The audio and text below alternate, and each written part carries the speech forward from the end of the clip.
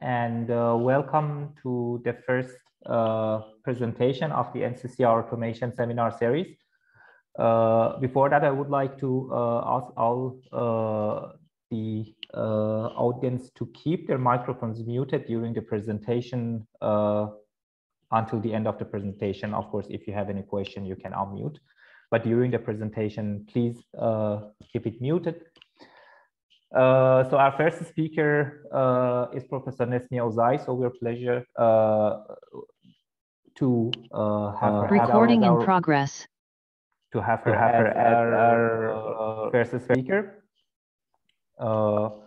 so I would like to give a short introduction about our first speaker, and then I will give the stage to Professor Ozay for the presentation. So uh, professor Necmiye Ozay is currently an associate professor of electrical engineering and computer science at the University of Michigan, uh, Ann Arbor. So she received his uh, her uh, bachelor degree from uh, Bogazici University in Istanbul in 2004. I hope I pronounced it correctly.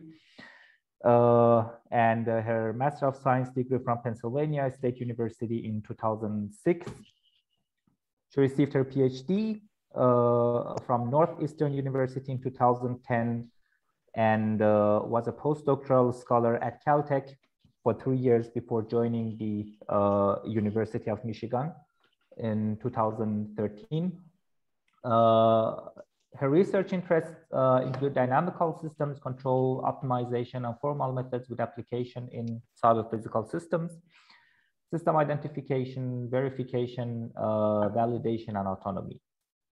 Uh, her works actually received uh, many awards, uh, among many more, notably IEEE Control System Society uh, Award, uh, Best Student Paper in 2008, and a Best Paper Award from the Journal of Nonlinear Analysis received a DARPA Young Faculty Award in 2014, uh, an NSF Career Award, and NASA Early Career Faculty Award, and a DARPA Director Fellowship uh, in 2016, uh, ONR Young Investigator Award, and the 1938 from the University of Michigan College of Engineering in 2018, and uh, many more that uh, I actually uh, mention the most notable ones. So uh, thank you very much, Professor Ozay, uh, for uh, giving us the presentation. Uh, I will uh, give the stage to you for uh, the presentation and yeah, please go on. thanks, Wahid, for the nice introduction and thanks everyone for inviting me. it's a pleasure to be there virtually and I hope I can visit at some point in person as well. Uh, today I will talk about learning models and constraints with limited data. Uh, and I want to start, so here's a quick outline of the talk. Uh, I want to start with the role of data in control and automation. So we are in an era that we cannot maybe ignore uh, what's going on in data science and machine learning. Uh, actually, I would argue uh, we are very familiar with working with data in control uh, society as well. Uh, but uh, maybe now we can ask a little uh, different, uh, slightly different problems, questions, and answer those questions as well. and there will be two parts, two technical parts of the talk. In the first part, I will talk about the system identification method uh, and uh, talk about how to do sample complexity analysis of that system identification method. And in the second part, I will talk about inverse constraint learning, uh, similar to inverse optimal control. Uh, so in most of control tasks, uh, we have uh, this standard paradigm uh, where we have models and we have a task specification. It could be uh, optimizing an objective function. Uh, it could be satisfying certain constraints. Uh, and through the years, we have developed many techniques that takes in these models, mathematical models and mathematical descriptions of tasks uh, and automatically synthesizes uh, controllers or verifies that with this model, with this task, this control problem is not solvable. Uh, now we can also put data into this picture uh, and we can collect some data from the real world. Uh, and from data, we can construct our models if uh, our physical modeling is not in is inadequate, uh, or we can use data to learn certain types of tasks, and we can still use our old control methods once we have the models and the tasks. We can still design controllers. Uh, and nowadays, this is called model-based uh, control, model-based learning. Uh, uh, and there's also this other paradigm of going from data directly to controllers, which is usually called model-free learning.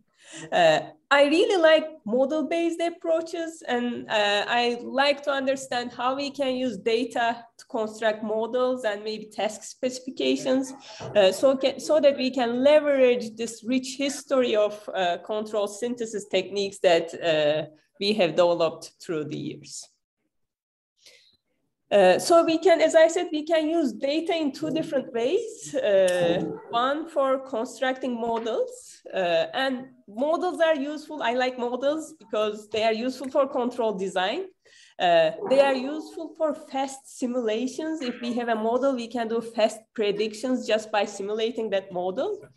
Uh, we can use models for system monitoring. So this is like most of the digital twins type work is essentially doing uh, system simulations and comparing those simulations at runtime uh, with uh, the system behavior itself and monitoring the system that way. And we can also do anomaly detection type things when we have models. Uh, and th there are sorry? techniques for, uh, sorry, is there a question? And feel free to uh, interrupt me if you have questions. Uh, so uh, going from data to models, it's something we have done in control community for a long time. So this is what is studied in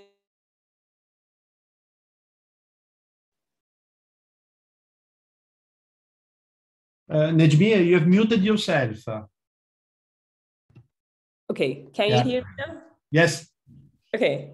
Uh, so uh, we have been doing uh, like going from data to models for a long time in system identification. Uh, and this also comes in different flavors. Uh, so there are certain situations where we can collect lots of offline data and we can do system identification with lots of data. and there are situations where we don't have the ability to collect that much data, uh, and maybe we need to do identification on the fly. And here are two examples. Maybe if you are sending a rover to Mars or exploring an unknown environment, uh, you don't have too much time uh, to figure out what's going on. You need to like learn on the fly after you deploy the system. Uh, and probably the amount of data you have is limited. Similarly, if you are handling an unexpected failure, of a safety critical system, uh, like your engine blow up uh, in your aircraft, you don't really have too much time to collect data and figure out uh, what's going on. You need to like learn on the fly uh, and react accordingly.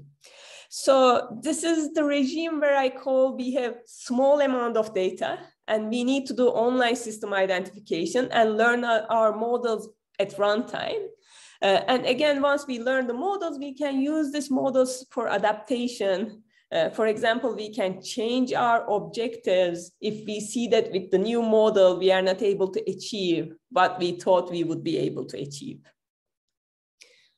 Uh, on the other hand, we can also go from uh, data to task specifications. Uh, and again, task specifications are useful for control design.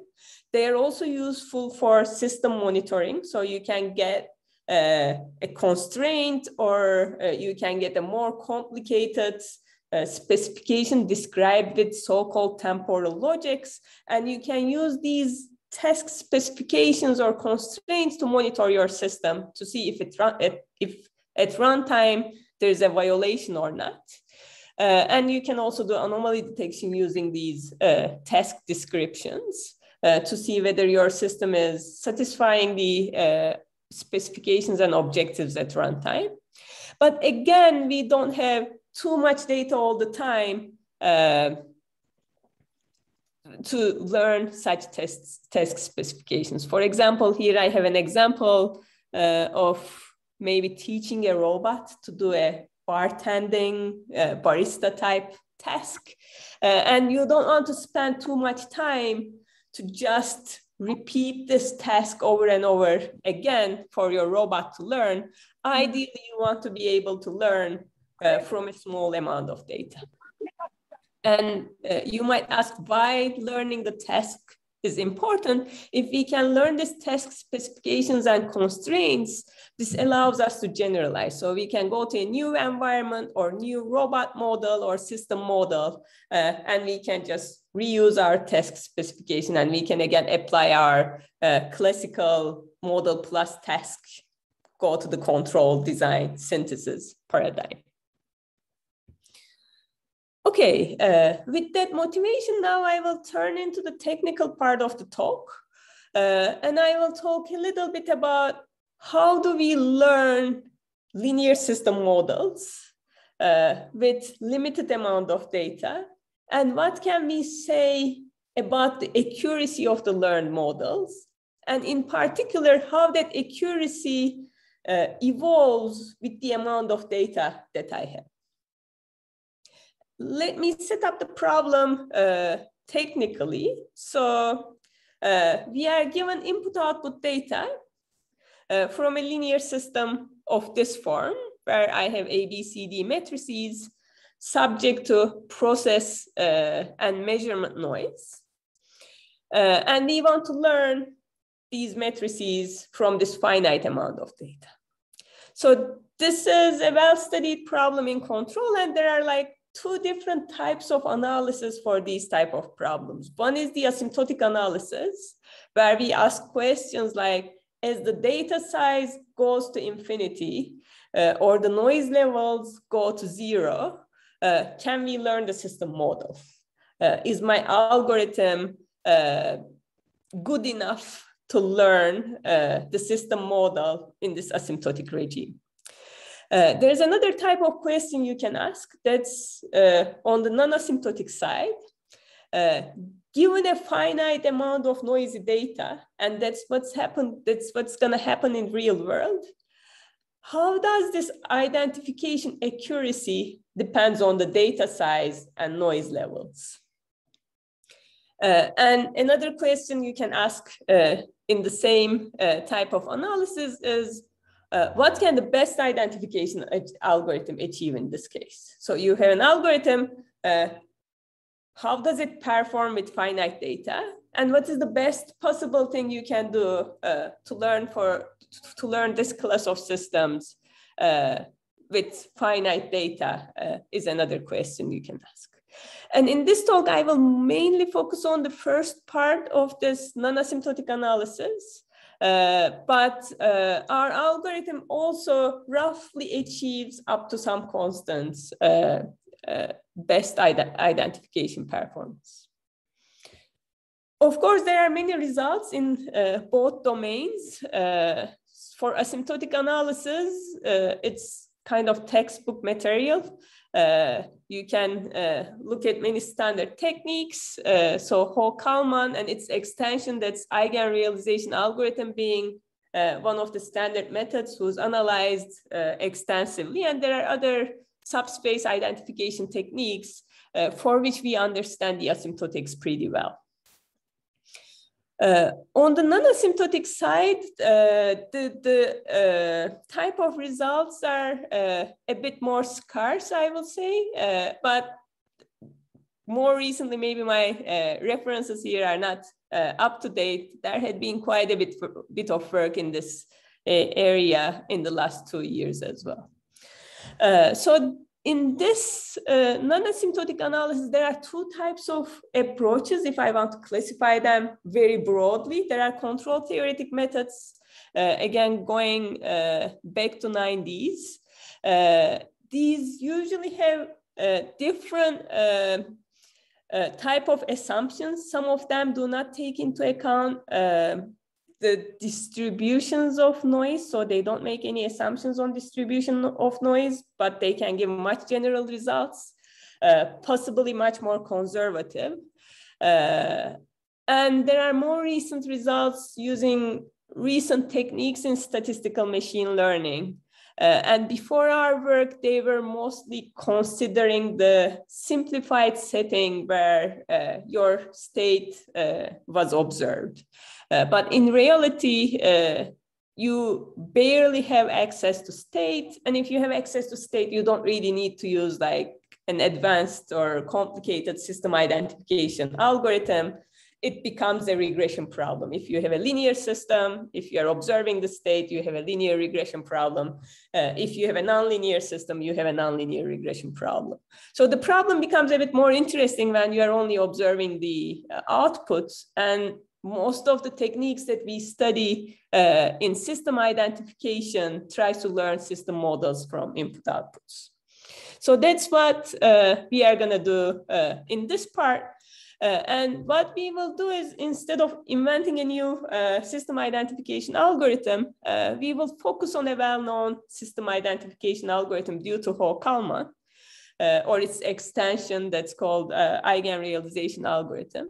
And we will provide a sample complexity analysis uh, that gives probably, provable guarantees on the accuracy of the learned model.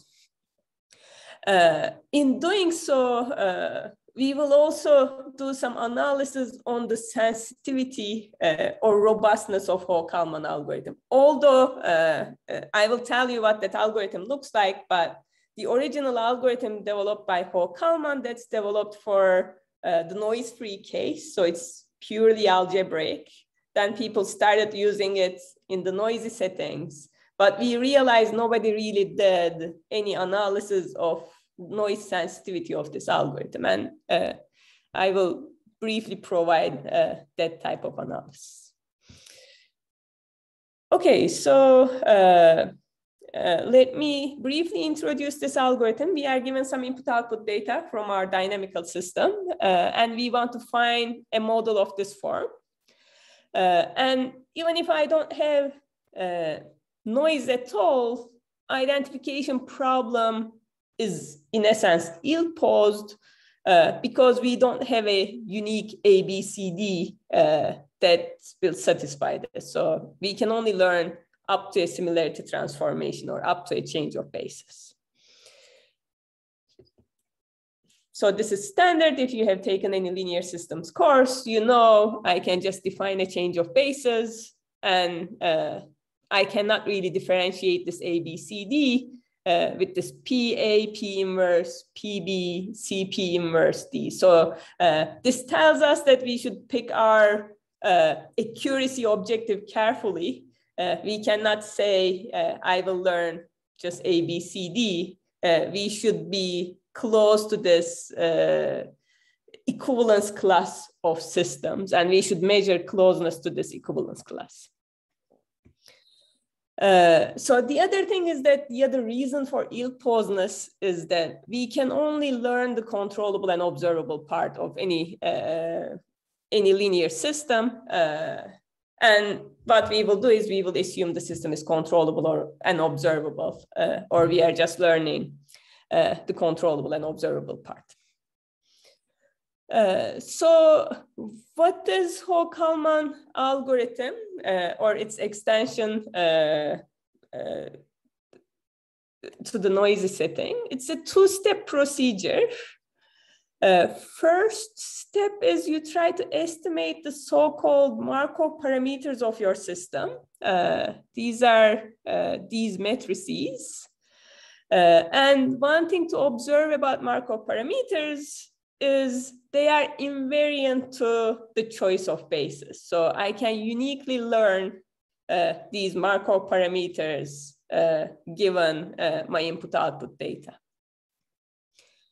And once we have these Markov parameters, and Markov parameters are also like if you have a single input, single output uh, system, this is your impulse response essentially. Uh, and once I know those Markov parameters, there is a way to extract a realization of your system. There's a way to extract your system matrices uh, from these Markov parameters. So that's going to be the two-step procedure uh, that uh, we will follow. Okay, so uh, I will start with the second step. Uh, and this was the original thing that's done uh, by Ho and Kalman, assuming you have the knowledge of the exact Markov parameters. So let's see how we can go from Markov parameters uh, to uh, actual system matrices. So let's assume we know our Markov parameters exactly. What we will do is we will form a, a block-Hankel matrix. So it's a matrix of this form, uh, where uh, this anti-diagonals are constant. Uh, and one thing we can observe is that this Hankel matrix can be factored into an observability matrix and then a controllability matrix. So this is just multiplication of these two matrices that we are very familiar with uh, in controls. And if my system is controllable and observable, I know both of these matrices are rank n. Uh, and therefore, this Hankel matrix, independent of its size, uh, it's gonna be rank n. Now, we will try to do some factorization of this Hankel matrix uh, to obtain a realization. So what I will do is I will take, I will ignore the last column of my Hankel matrix, and I will call this sub Hankel matrix as H plus. And I will shift this, and I will ignore now the first column of my Hankel matrix, and I will call uh, this new matrix H minus. And one thing you can quickly observe here is H plus itself is again an observability, an extended observability matrix times a controllability matrix. And H minus is the same thing uh, multiply with an A in the middle. Once we make this observation, we can uh, go and uh, try to do factorization. And to do the factorization, what we will do is we will do an SVD to H plus, singular value decomposition. And this is gonna be an exact SVD because we assume our uh, matrices are noiseless. Uh, and we will get uh, this U sigma V transpose. Uh, then from there, uh, we can set our observability metrics to be uh, use sigma over one over two and our controllability metrics to be sigma one over two uh, V transpose. Then uh, the estimated C would be the first M rows of my observability metrics because I know the first uh, M rows of the observability metrics by definition is the C metrics. Uh, and similarly, the first P columns of Q will be uh, my B matrix. Uh, and uh, if I just uh, do a pseudo inverse to H minus with O from left, observability metrics from left and controllability metrics from the right, I can extract my estimate for the A matrix as well. And since I am given the Markov parameters, I already know my D matrix. uh, and this gives me uh, a realization. And if my data is noiseless, this realization uh, is uh, a true realization uh, of the system. And this is called a balanced realization. And the uh, singular values that show up here, especially in the case where the matrix is infinite, are called Hankel singular values. So these are uh, very relevant quantities uh, in understanding uh, identifiability of your system.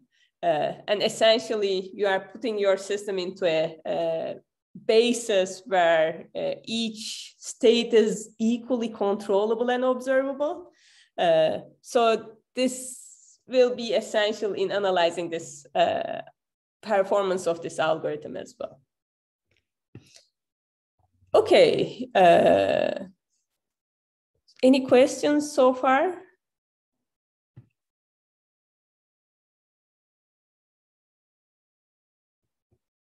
okay, so what happens uh, if I don't have the uh, true Markov parameters, but I only have the estimated ones? Uh, I can still proceed the same way, but in this case, my uh, singular value decomposition won't be exact. And if I know the system order, uh, I can just truncate my uh, singular values at the end singular value, and I can still construct these matrices. And this is what is being done in system identification for a long time. Uh, now the question is, uh, we have been doing this for a long time. We know in the limit this works. Uh, as the noise goes to zero, uh, this should give us the uh, right result. But can we say something more precise in terms of the level of noise or level of estimation error and how that level of estimation error is re reflected on the matrices that I learn? So that's uh, what I will try to present uh, next. Okay, so this is just on the side, uh, our algorithm. And what we want to do is, and I know this algorithm works well if I have exact Markov parameters. What I want to do is I want to give, uh, I want to give you a bound on the uh, estimates given some bound on how much error I have in my Markov matrices. And our first result shows that uh, the error uh, we make in uh, H uh, in the spectral norm of uh, the Hankel matrix itself as a function of the error uh, in the norm of G is just linear, uh, so that the error we make in H is essentially linear in the error we make in G. Uh, similarly, uh, when you do SVD, things won't blow up that much. The error in L, that uh, this is the uh, sort of uh, denoised version of H heads, if you think about SVD as doing a denoising this low rank estimate of the Hankel matrix that we obtain, uh, again, the error we make in that low rank estimate of uh, H uh, is, uh, again, the error is bounded uh, by the error that we are making in the Markov matrices uh, times uh, something that depends on the size of the Hankel matrix. Because when you are forming your Hankel matrix, you are uh, free to choose your number of columns and number of rows, and how you choose your number of columns and number of rows will affect uh, the error you are making uh, in your Hankel matrix estimate and in your low rank Hankel matrix estimate. And what this tells you, and this is something people do in practice as well, you better pick more squarish Hankel matrices uh, to uh, not suffer too much from the error uh, that you are making. And given this is how much error you make in L, we can go one step further and we can uh, compute the error uh, that uh, we make in, in terms of our ABC estimates. and this is what we could show. If uh, the error uh, that we are making in these low rank estimates is small enough, then uh, there exists some unitary matrices P uh, such that the error that we are making in our estimates uh, is uh, scaling with the square root of the error we are making in the low rank estimate. So essentially, with, in this way, uh, we can bound uh, the error that we are, essentially this is the error uh, of ABCD matrices that we learn and how close they are to the actual uh, balanced realization of the system. Okay, so now that we have some analysis of how this error propagates through Markov parameters uh, and the uh, Ho-Kalman process, the next question you can ask is, given data, I am gonna try to learn these Markov parameters. Uh, and given a method for learning these Markov parameters, and we will use a very simple method of least squares, how much error I will make in uh, learning these Markov parameters. Okay, so the second part, I will try to talk a little bit about this estimation of the Markov parameters. Again, we have the same setting. Now I am explicitly including uh, the noise terms. Uh, and uh, I will assume that I know the distributions of these noise terms. In particular, my process noise is uh, a Gaussian. Uh, similarly, my uh, measurement noise is a Gaussian. For simplicity, we will assume initial condition is zero. Uh, this is simple to relax. and we are going to assume we are exciting our system with a Gaussian. Uh, if this is the case, uh, then if I had multiple trajectories of the system, uh, I can look at the cross correlations of inputs and outputs uh, to define my Markov parameters. So another uh, way of defining your Markov parameters is uh, by looking at these expected values of cross correlations. Uh, and in general, if you have IID data, you can compute expected values from your data. So this would be a valid way of estimating your Markov parameters just by doing averaging instead of expected value if you had independent uh, data trajectories.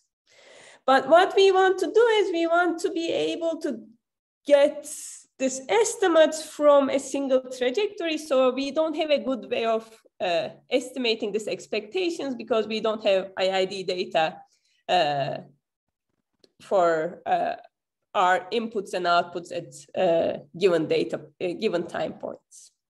So what we will do instead is we will try to just write down uh, our system's evolution and try to pose a least squares problem. So what I will do is uh, I will take my uh, uh, data trajectory.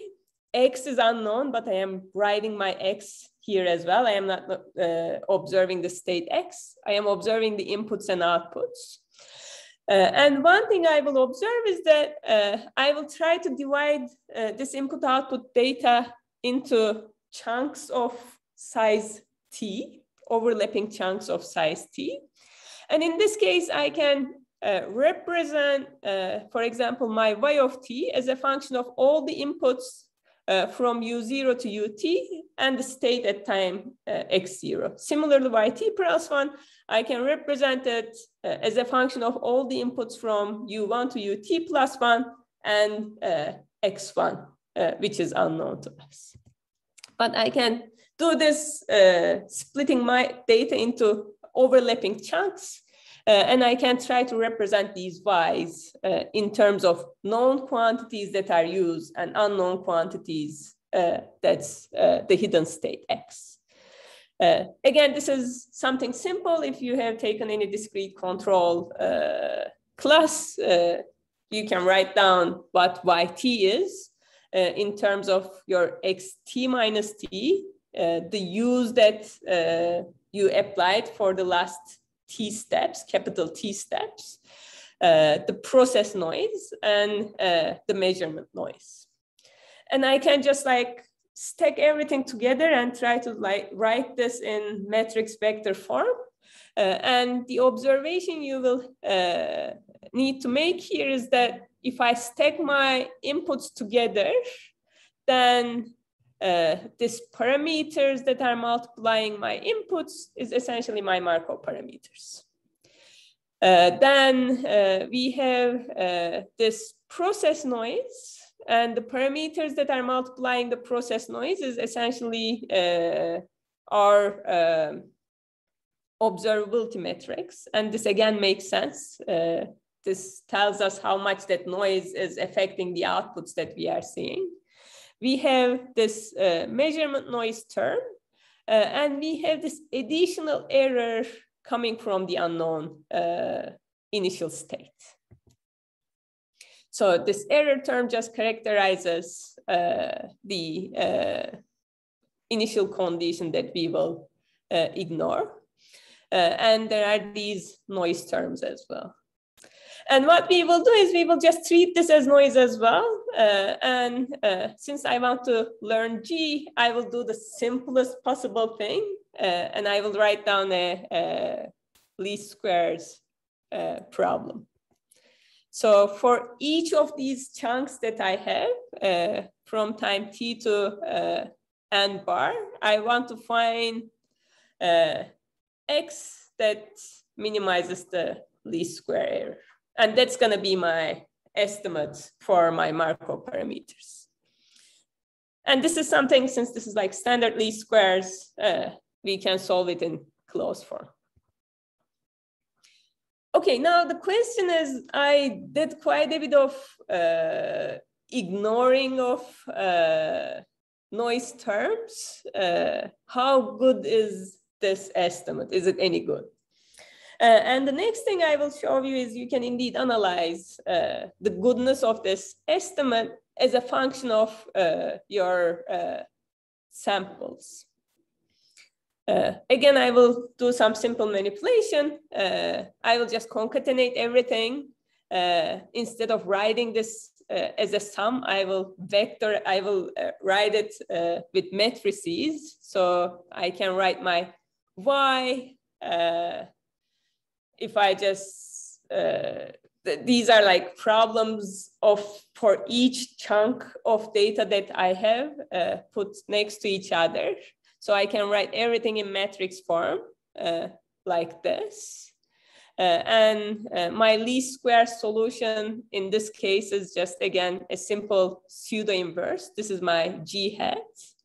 Uh, and in the G hat expression, if I plug in what Y is, I can write G hat as a function of G and my noise terms. And from there, I can write down what G hat minus G is, what my error is. Uh, and once I write my G hat minus G, I can try to uh, look at the uh, error uh, that I induce uh, by going through this process. So there are multiple terms here. Uh, so after I write down the error, I am just writing, applying a few uh, triangular inequalities, uh, metric submultiplicative inequalities, and separating out the effect of different terms. Now I need to understand the effects of these different terms to figure out uh, my data dependence. So there's this term F uh, that's related to uh, observability uh, and observability Gramians of your metrics. That's going to be something that plays a role in your uh, estimation. Uh, there is this term that depends on uh, process noise and uh, our inputs. Uh, and we will try to estimate its norm using some concentration inequalities. there is this other term that depends on measurement noise and uh, the inputs, again, we will use some concentration inequalities for that. Uh, then uh, I have a term that depends on only on inputs, and I have another term that has uh, dependence on this effect of the initial condition uh, and the U. And you can use some martingale arguments because this thing has lots of dependencies in it. Uh, and uh, still you can analyze and figure out, given a certain amount of data, uh, what would be uh, this norm of the noise over here. You can analyze this. So if you do this analysis, uh, this is uh, what we can come up with. given input output data of a certain size, and that size will be n plus t in our setting. I will denote it like this. Uh, as long as your uh, number of samples is larger than a given quantity, uh, then with high probability, the error you are making in your Markov parameter estimates looks like this. Uh, and if you look at this, this makes uh, quite a bit of sense. You are suffering uh, due to your uh, error terms. Uh, and if your uh, input, uh, if your input uh, magnitude is large enough, you can reduce your, you can increase your signal to noise ratio and reduce your error. And this depends on your number of samples in, in square root of n. Okay, uh, so we can combine this all and we can uh, come up with uh, results of the following form. Given any delta and epsilon, uh, we can find an n uh, such that if we are given input output of uh, input output data of length n with probability one minus delta, we can estimate system matrices by accuracy at most epsilon. So you give me your uh, probability and tolerance in your accuracy, uh, your probability of success and your tolerance in your accuracy, uh, and I can tell you how much data you, you need to have. Uh, and similarly, given the data length uh, and any uh, probability of failure, we can give you the accuracy that you will achieve uh, with probability one minus delta. So there are some extensions of this. You can also estimate the H infinity norm of the system since we are using uh, Hankel matrices and balance realizations. Uh, we can also give estimates on H infinity norms. We can give estimates on system order. Uh, and uh, we can also, we have some recent results showing how you can use this uh, for control design as well. So I have some numerical examples. Uh, maybe they are uh, not that interesting, but let me show them anyway. So there were other techniques doing similar analysis, uh, but to achieve statistical independence, what they were doing is that instead of taking all these overlapping chunks of data, meaning using all possible data to do your estimates, uh, they were separating uh, these uh, data windows that you they use with some number k so that things are more independent. Uh, and we compared a little bit with those type of techniques uh, and uh, not surprisingly, if you use uh, all your data, uh, then uh, you get much better error estimates. Uh, and this estimation error evolves uh, as we expected.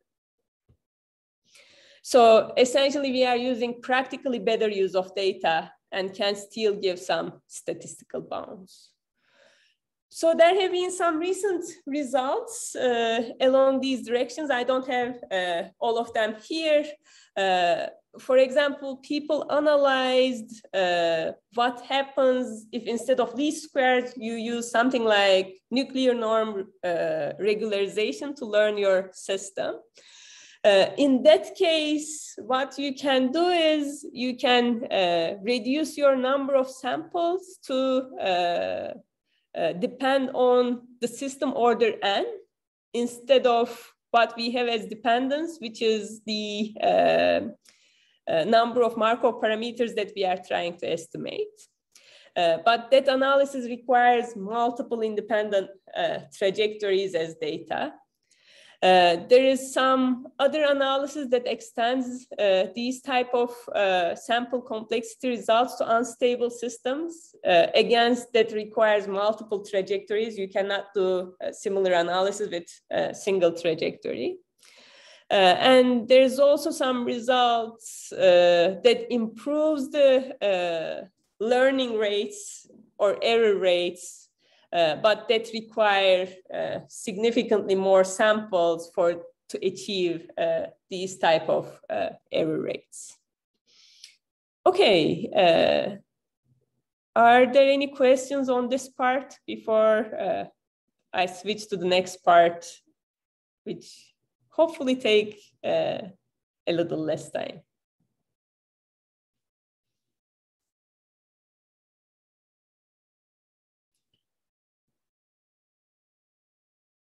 Okay, so next what I want to talk about is inverse constraint learning. Uh, and this is related to learning constraints from demonstrations and ultimately it's related to inverse optimal control, another problem studied by Kalman in 1960s. Uh, but instead of in typical inverse optimal control, you try to learn cost functions. Uh, but instead, we want to learn constraints. So why do we want to learn constraints? Because I would claim constraints are more modular and explainable. Think about any automation problem that you have. Uh, usually most of the problems that we deal with they are multi-objective optimization problems and uh, it's a bit hard to uh, combine all these objectives into a single cost function, weight them appropriately, uh, and write a single cost function that explains everything we want. Uh, but it's very easy to have our constraints uh, listed separately and what type of performance we want to achieve uh, for uh, different considerations that we have about our problem. Uh, there's this quote from a human robot interaction person that I really like. Uh, uh, they said humans don't think in terms of objective functions, uh, and I agree. Actually, I uh, I don't think about objective functions when doing a task. Uh, and the other thing is that if we have constraints, we know how to do constraint control to some extent, and we can use these constraints to do control and give system level guarantees, both in terms of safety and correctness. But the difficulty of learning constraints from only positive examples is that you can imagine this is kind of a classification problem. There are some constraints in my state space, and I want to find the points that satisfy these constraints and points that don't satisfy the constraints. So I want to do a classification in my state space if these are state constraints. But we have to learn only from positive examples uh, if you think about dynamical systems, because if you are trying to, for example, teach a robot to do a task and you are trying to teach them the task, you don't want to go and break things uh, to tell the robot, okay, don't do this, uh, but do this. So all the data that we collect in general uh, is just positive examples. So this uh, makes it a bit challenging uh, compared to other learning techniques. Again, there's quite a bit of work in this area as well. Uh, so there's work on inverse reinforcement learning, focusing again on uh, learning the objective functions. Uh, there are some works on constraint learning, and you will probably see familiar face uh, names in uh, both domains from uh, EPFL and ETH working on these type of problems. Uh, and uh, I will also show an extension of this learning constraints in state space to learning task specifications that are multi-stage described by temporal logics. And there's also some work on uh, learning temporal logic formulas, but these are mostly uh, in the context of you have some signals, you are trying to fit a temporal logic formula. Uh, what we will try to do is we have some control system uh, achieving an optimal control task, and we are trying to learn logic formulas from that. So again, let me switch to the uh, technical part and uh, write down our problem setting. We assume we have a demonstrator solving an optimal control problem.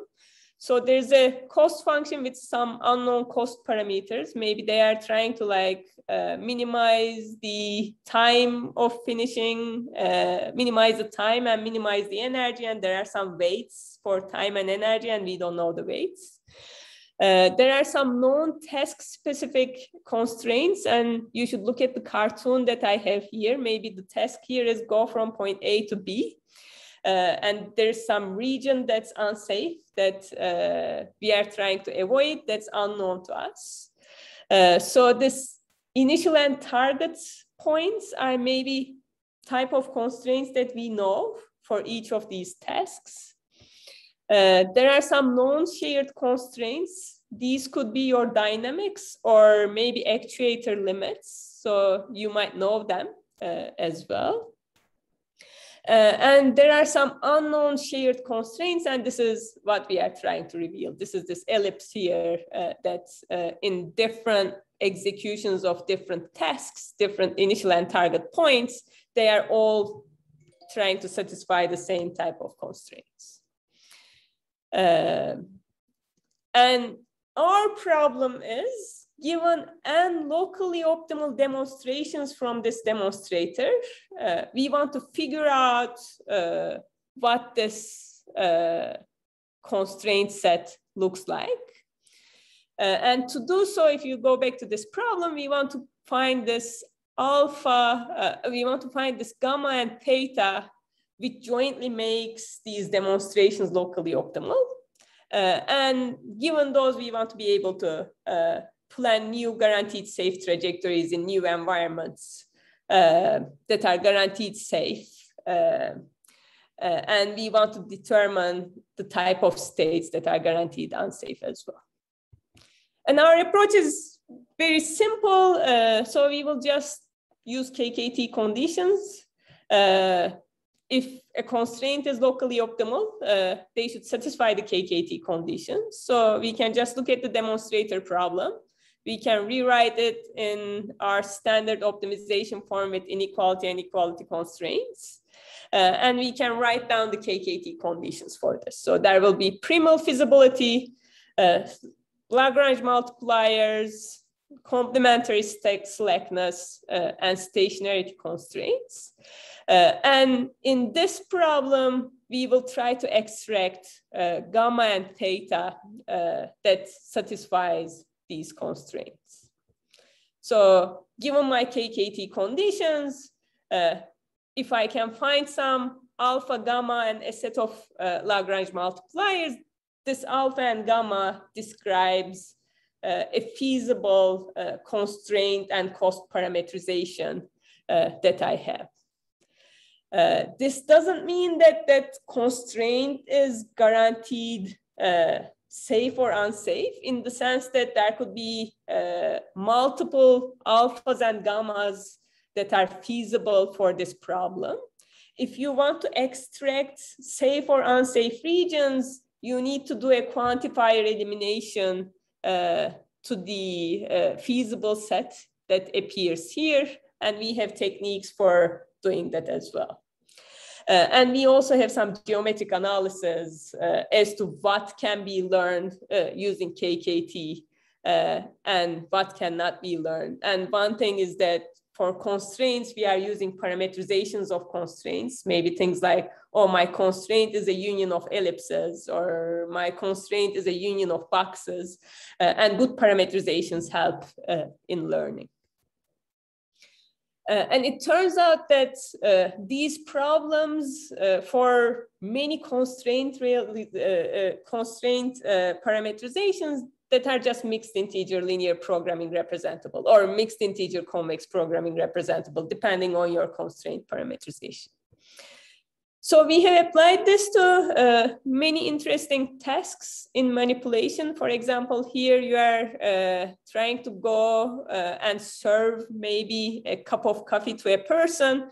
Uh, and there are some uh, glasses over here. You don't want to hover over them because it's dangerous. If, you, if your cup slips, uh, you can just break a bunch of things. And there's this ellipsoidal constraint in the constraint space that uh, the demonstrator is avoiding. And we can learn that with a very few number of demonstrations indeed. Again, a similar task where now you also have, maybe you are carrying a coffee cup and you don't want to uh, turn it too much because you can now uh, spill the liquid in it. Uh, so it poses some additional constraints on your uh, actuator. Uh, and in this case, uh, we have both workspace constraints and uh, pose constraints on the actuator. Uh, and uh, again, with a few uh, examples and demonstrations, we can learn these constraints. And the other nice thing we can do is we can give these demonstrations in VR environments and we can learn and plan with the learn constraints. Uh, here's another example uh, with quadrotor navigation. Uh, this example, the dynamics is uh, higher dimensional, constraints are higher dimensional. uh, and uh, we can still learn where these obstacles are, what are the constraints on the pose of the quadrotor, and we can go and plan with those constraints. So this is learn. This was learning constraints at the uh, state space, but in general, if you are thinking about an advanced automation task, uh, there are multiple stages of things. It's hard to like have a constant constraint on your state space to explain a complex task. Uh, and uh, we have an extension to, to this uh, setup uh, using uh, temporal logics and combining our constraint learning framework with uh, temporal logic learning. And the challenge here again uh, is uh, there are hard constraints that are time varying that needs to be satisfied and we only have a small number of positive demonstrations. Uh, and again, we want to learn these test constraints uh, from safe and locally optimal demonstrations and plan with those in new environments. Uh, and uh, the key observation here is that, again, similar, any trajectory that satisfies the known constraints and leads to a lower uh, cost function must violate the unknown constraints. So that's our key observation. Uh, and we use this to eliminate uh, possible uh, constraint realizations in a iterative loop. The other observation is that uh, continuous trajectories should satisfy KKT conditions. It's similar to what we have earlier.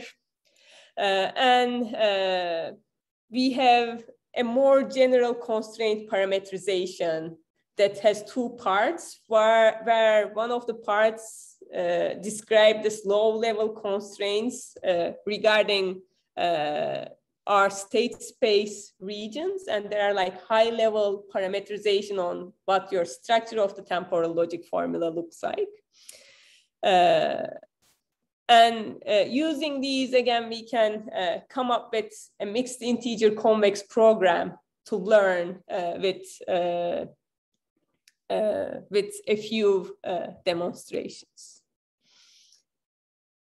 Okay, so there are again two levels. At the high level, we use KKT. At the low level, we use this fact that uh, if you are not doing something uh, there, if you are not visiting certain subspace, uh, certain uh, state space regions, uh, that's because that should be violating your constraints and we are extracting those uh, state space regions with a new notion of uh, discrete optimality at the task level. So let me show you a, a simple demonstration of this. Uh, we learned this multi-state task in a VR environment with one or two demonstrations and the task is go grab uh, a cup of soup, place it into a small box. It will go and place it into a small box. So this is uh, Glen Chou, who, was the, who is the PhD student leading this project, demonstrating the task on the VR environment. Then you place this into the blue region. Then you take the Cheez-It box uh, and you deliver it to the green region. And while doing both of these things, your end effector should not rotate too much uh, to avoid spills. Uh, and this is the VR demonstration that we have. Uh, and we learn the constraints and we have a mechanism to just put it onto a real robot in a totally different environment.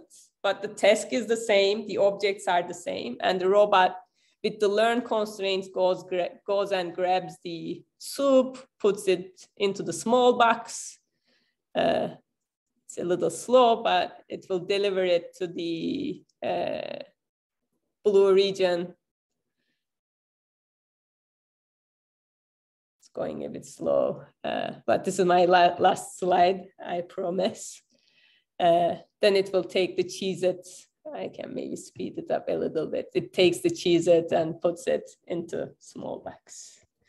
Okay, uh, so here are maybe some quick conclusions. Uh, we have some results on both learning models and tasks with limited amount of data. Uh, and there are some exciting uh, directions that we are working on, but I will stop here uh, in the interest of time. Uh, okay, thank you very much, Professor Ozay, for a great and very interesting presentation.